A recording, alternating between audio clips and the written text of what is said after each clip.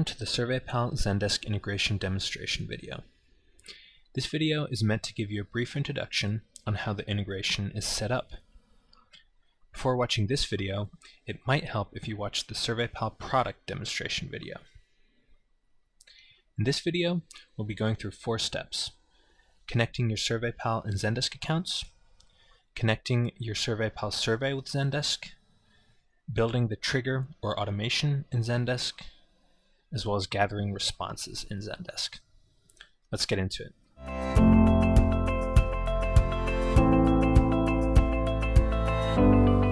Connecting your SurveyPal and Zendesk accounts is simple.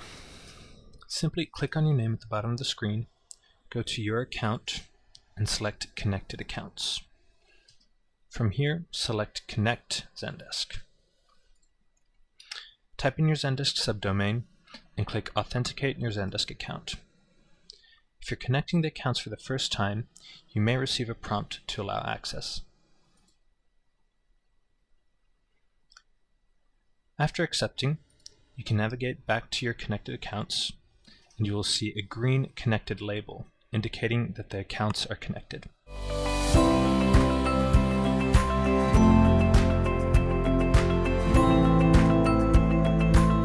Order to connect your SurveyPal survey with Zendesk, you may need to create some custom ticket fields. This can be done in Zendesk by navigating to the Ticket Fields section in your admin tools. From here, select Add Field and select the type of field you wish to create. In this example, we will create a numeric Net Promoter Score field.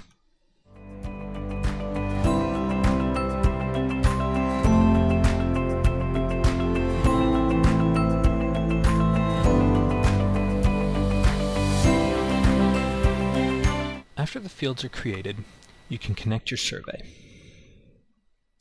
Open up the survey and survey SurveyPal that you wish to connect to Zendesk.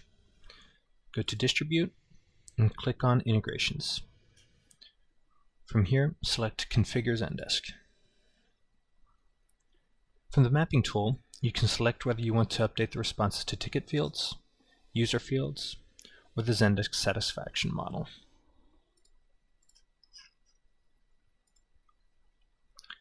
SurveyPal will also give you a sample email message to use for your Zendesk trigger or automation.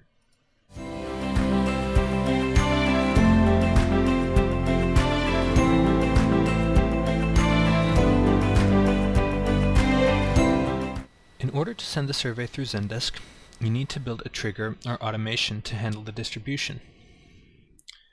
From your admin tools, choose either Trigger or Automations under Business Rules. Simply select Add Trigger or Automation and start selecting the conditions. For the email sending action, select Email User and Requester.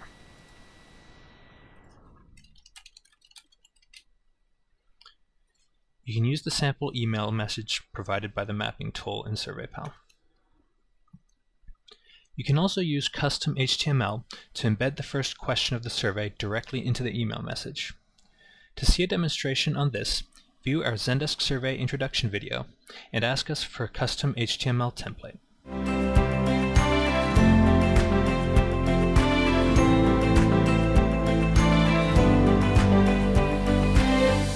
Once the trigger is created, you are ready to start gathering responses in Zendesk.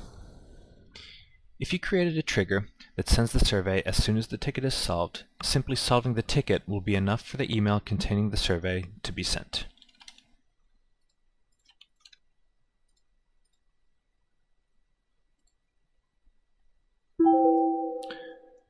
Again, for an example on seeing how embedded survey questions work, see our Zendesk survey introduction video. Clicking on the link will lead you to the survey. Once the score is submitted, it will show up in your Zendesk ticket fields.